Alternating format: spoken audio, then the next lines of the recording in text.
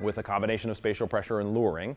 And we teach the stand from a sit, meaning your dog's in a sit, and we push into them and make them do what we call a kick out stand. So your dog's sitting, and as I shove into the dog with spatial pressure, the dog pops up and stands up. So their rear end pops up, so they don't walk forward into the stand.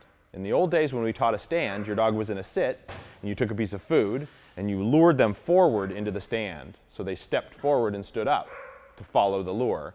But the problem with that is, is the dogs take steps, so they've moved forward, and they're not counting how many steps they take. So what happens as, as you, the dog gets more motivated or you get distance in, instead of just taking one step and standing up, they take two or three or four or five. And it's difficult then to tell them not to do that because they think they're doing the same thing they've been doing all along.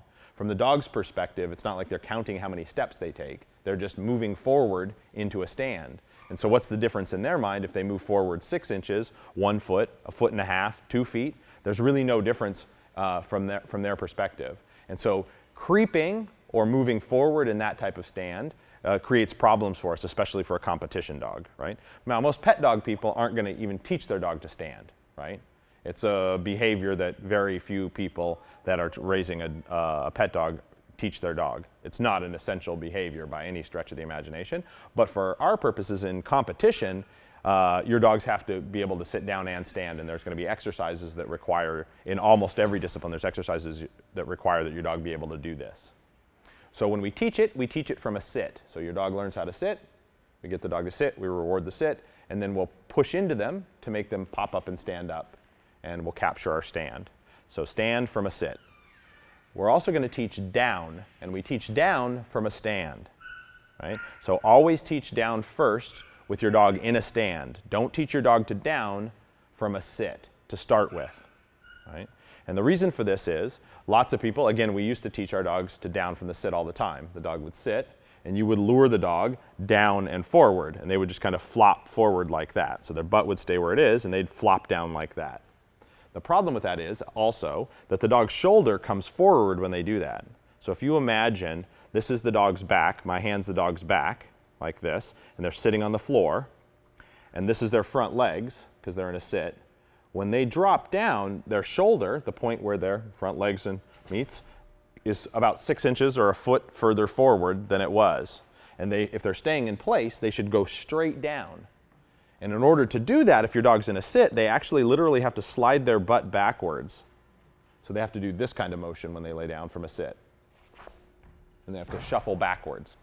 And so if I teach my dog to down from a sit first and make them flop forward like that, later on two things happen. One, they come forward when you ask them to down. And the second thing that happens is when you're doing moving downs, like if you're walking with your dog and you tell them to down, while there's out of motion exercises are common exercises in competition, where your dog's heeling and you would say down and their drop, what they have a tendency to do is sit and then lay down because they learn it like in two actions. They've learned the down from a sit, so when you try to get them to down from a stand, they want to sit first. And so we always teach the down initially when the dog in a stand. So the dog's standing, we push into them a little bit and drop them down.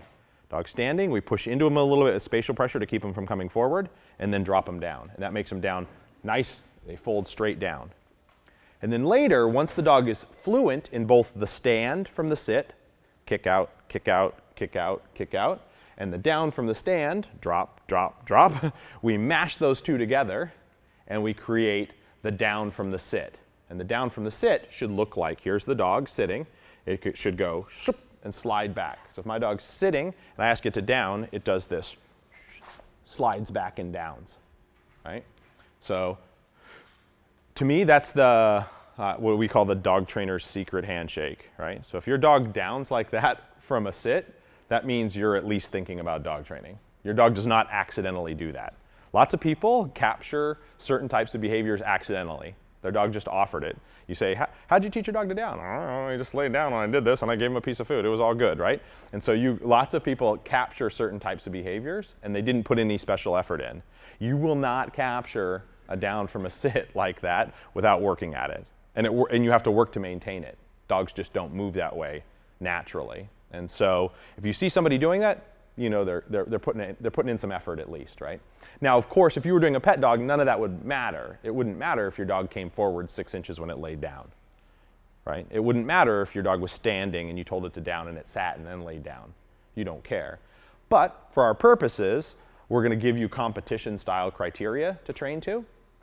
That way, if you choose to go on and mess with competition, whether it's rally or AKC obedience or any of the other sports, you will have correct foundation. And it's much easier to create correct foundation from the ground up than to go back and try to change it after the dog's doing it. Once the dog's doing it the wrong way, going back and fixing it is a lot harder than training it right in the first place.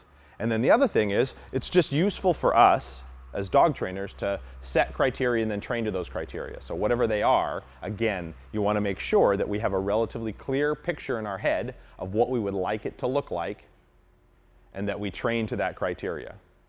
Again, lots of people, I say, how do you teach your dog to, uh, what do you want your down to look like? And they're like, I don't know, I want my dog on the ground, right? Well, that's not a clear criteria. How did they get there? How did they move their body? Did they flop over? Did they go like this? Did they lay down walking forward? Did they move backwards and lay down? What did they do, right? Because from a dog's perspective, physically, those are all different things. And so it's really important in our head, we go, okay, this is what it should look like. And then I can work towards that. And then later, when the dog offers variations that aren't correct, I can say, hey, that's not right, do it this way. And they go, oh, yeah, you're right. But if I've allowed a lot of variation in my behaviors and then I tried to hold the dog accountable, the dog goes, I'm not really sure. I've done a whole bunch of different things here. Which one is right, which one is wrong? And so then if I tell them they're wrong, I create either confusion or stress potentially as we go along, right? And so we want to be really clear about this. And so for our purposes, it's not any harder necessarily to teach correct mechanics. You just have to pay attention to it.